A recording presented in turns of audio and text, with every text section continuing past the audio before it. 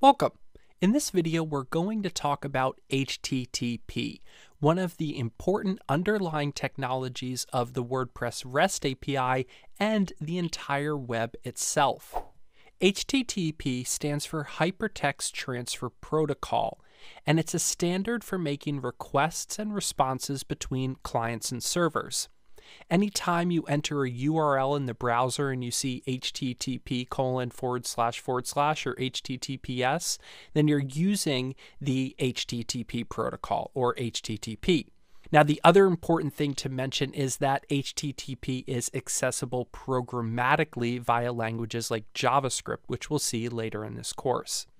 Now, HTTP clients is a specific technical term that refers to applications like web browsers or our JavaScript apps that we'll build that make requests to web servers. And HTTP servers is also a specific technical term inside of HTTP, and it refers to the computers running software like Apache Nginx or others that understand how to process and work with HTTP requests and responses. Now, if you've worked in web development before, you've probably seen this diagram of a client making a request to a server and in turn a server making a response back to the client. But what we're going to do now is unpack this quite a bit, starting with these two terms, which are again specific technical terms request and response. So a request is what is made from a client or app to the server. And there are several types of requests or request methods like get, post, put, which put means to update, uh, delete, get options, connect, trace, all of these are available. And there's a comprehensive list. Well, it's not even comprehensive, there are even more that are available. And you could see the video notes for a link to get a better understanding of what's possible with different HTTP request types or methods. But it's important to point out here that while in a web browser we might be used to making GET requests, we just put in the URL and get the data back, HTTP allows for us to do a lot of other types of requests as well. So then an HTTP response is going to be what's made from a server to a client in response to that request. And now in the case of WordPress, part of that response is going to be in JSON format. So coming back to this diagram again, when we make requests and get responses back, we're passing what are called HTTP messages. And HTTP messages are the bundles of data that are passed with requests and responses.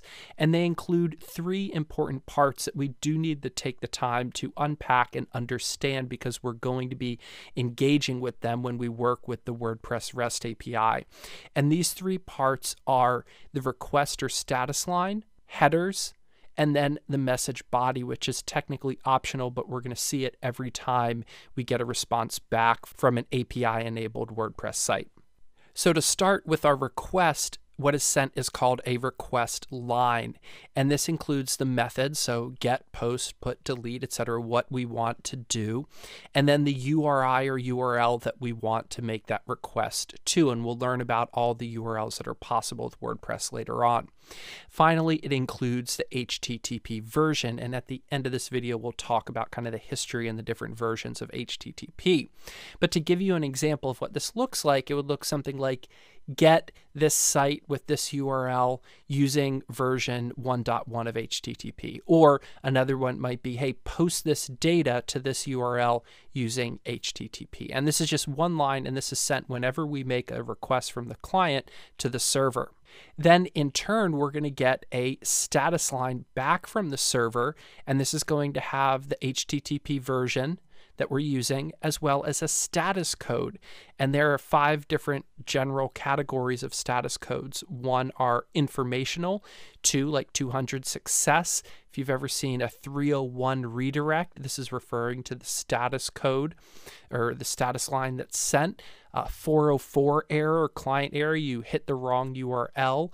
Uh, there are a whole bunch of these. You have 400 through 499 not every single number is represented but there are quite a lot and 500 server errors. And you could see a link in the video notes to get a really good reference for all of them that are possible but there's going to be probably a handful of them that are most common that we'll deal with. And you've already seen these before outside of the context that we're talking about them now, but they are part of HTTP.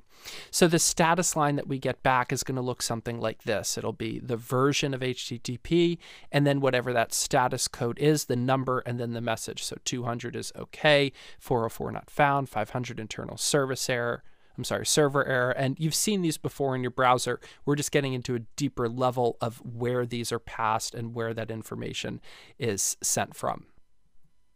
So now when we look at this again, we see, okay, get this site, and then mm-hmm. it's going to send a status line back. And this would be an example of a request line and a status line. This is part one of the message. So Part two is going to be working with headers, and headers include metadata for each request and response sent. So there's a whole array of types of metadata that can be passed. And what we'll see are there are some standard header fields or metadata types that exist.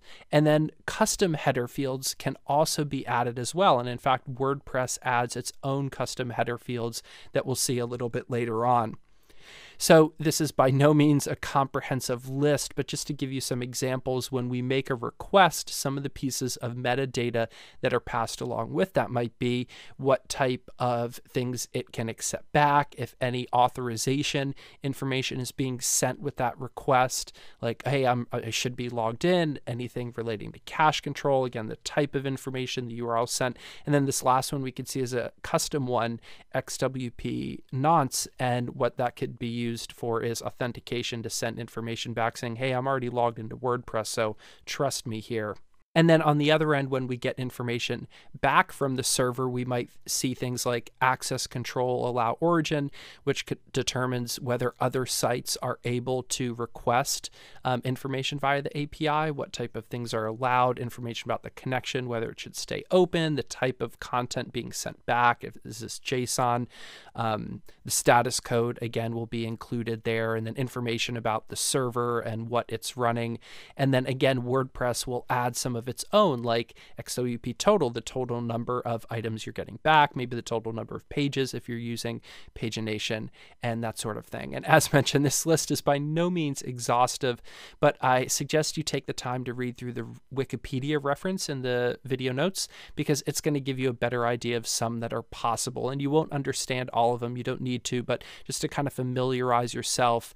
And then as we look at how to review requests and response headers, we'll see again and again again a handful of pretty common ones, and it'll be very rarely and only in specific instances that we really need to check them and or customize them. But that is something that we'll learn how to do with JavaScript, and, and you could do it with other languages as well. So coming back here, when we make that get request, we're also going to send with it a bunch of header information. And here's some information you might see um, saying, hey, I want to get back some JSON. You could encode it this way, um, accepting this language. And here's information about the user agent, in this case, um, using Chrome browser. And then the server is going to say back, okay, got that. Um, here's what you're looking for, but it's also going to pass this metadata. Okay, hey, you're at yourapp.com. You're allowed to get this. I'll allow you to get, but not post in this case. Here's your JSON, and uh, status 200 means it went through okay. So we don't need to know all of the different types of metadata we'll find in headers. We don't need to necessarily understand all the syntax of what's going on here. We just need to know that at the lower level runnings of HTTP, headers are the second part of messages. We see the request line and the status line that are sent as one part, and then we see the headers as the second. So now that brings us to the third, which is kind of the bulk of what we're really going to be dealing with when we're working with the WordPress REST API. And that is the message body. So, this is optional data that's passed along with a request or response. And with the WordPress REST API, we're going to be using JSON format for this data. However, if you just hit a normal URL on a WordPress site, you're actually going to get back the HTML for that page as the message body. So it doesn't have to be JSON, but it will be in the context that we're using it.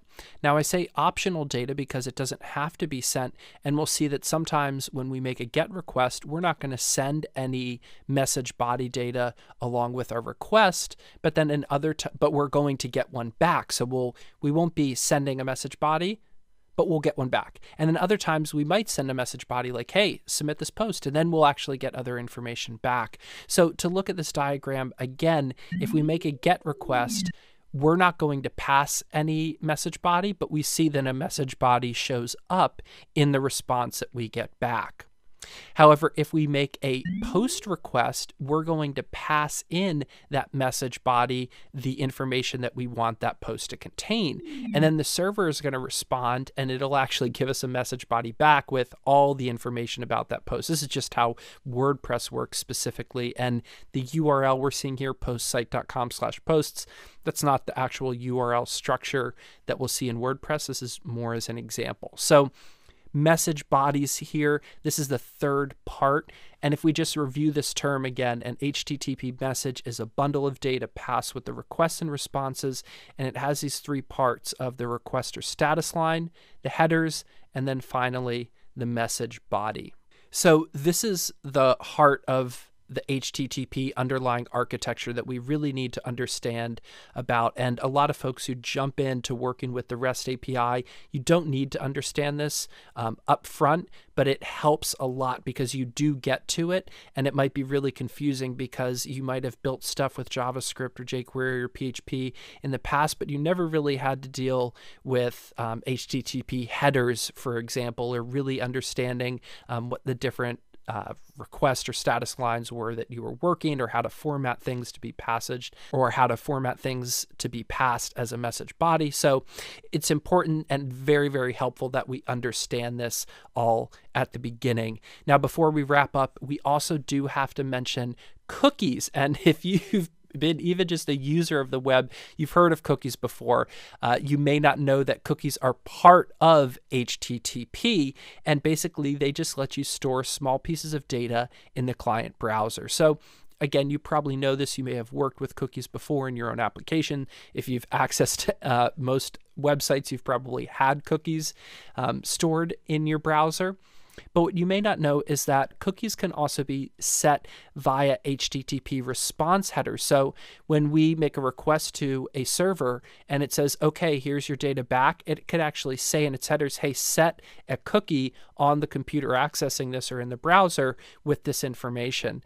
And likewise, when we make a request to a server, we could easily say, hey, pull in my cookie information and send it back to the server. But the cookie information is going to be only accessible via these two bodies, the client and the server. So it won't be possible for other sites to access cookies from other sites. That said, there are security implications when working with HTTP, so we really want to use HTTPS whenever possible.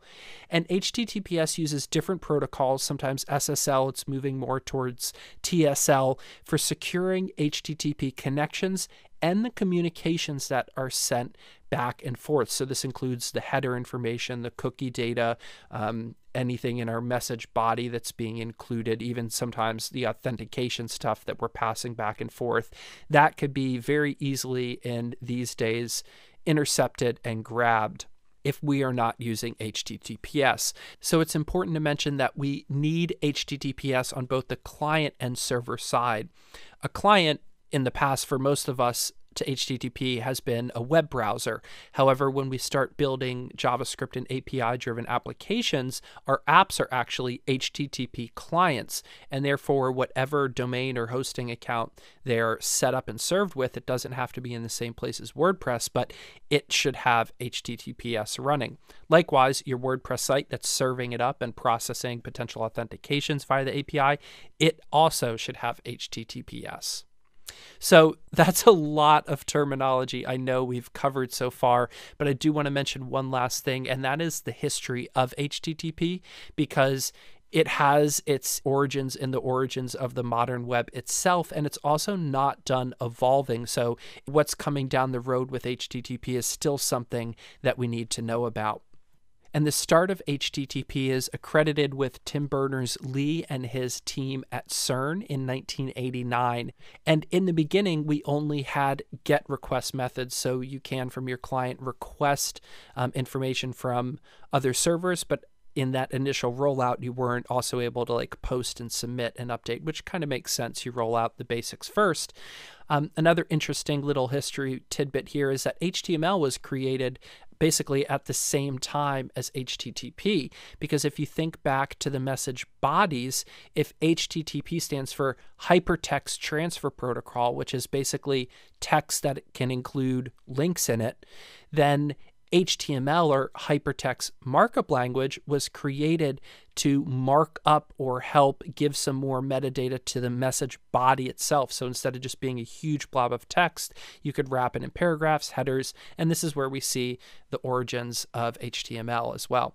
So the first standard was in 1991 with version um, 0.9. It had been implemented a little bit before this, but really you see version 1.0 in 96 and one of the things about version 1.0 is that every time you made a request to a server, it needed to open a new connection. And a request and a connection are actually two separate things.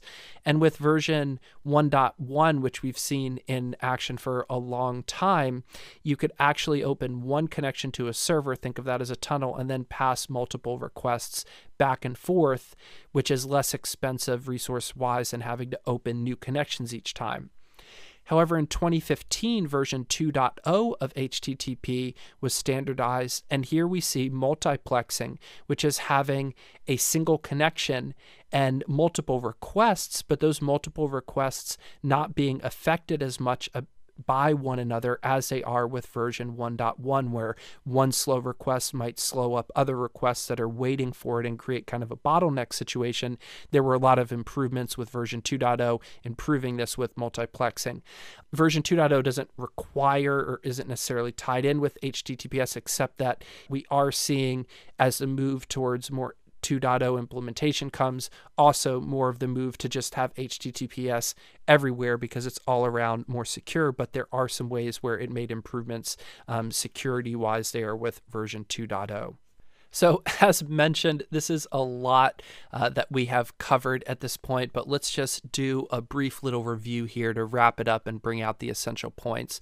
First of all, HTTP is a standard for requests and responses between clients and servers, and it's used in browsers, but it's also accessible programmatically. We could hook into it with JavaScript as well as other programming languages like PHP and a lot more that we'll look at.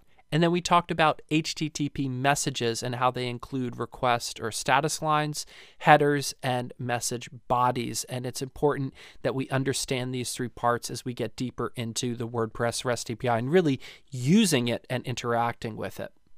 We also mentioned HTTP cookies and how they're part of this whole infrastructure and how they allow us to store data in the user browser. And again, we will see cookies being used in different implementations around the API. Finally, just a message on HTTPS and security, and that you really want to move to having it everywhere so that we could have more secure connections and communications between our clients and servers. So, this has been a lot of information. If this is new to you, you could go back and rewatch this video just to kind of let these terms sink in. But if you've kind of heard about this stuff before, hopefully it brought a new level to your understanding. But then in the next video, we're going to start looking at different ways that we could really start making HTTP requests. And all of this will start making more sense as we get into it in more depth and in different ways.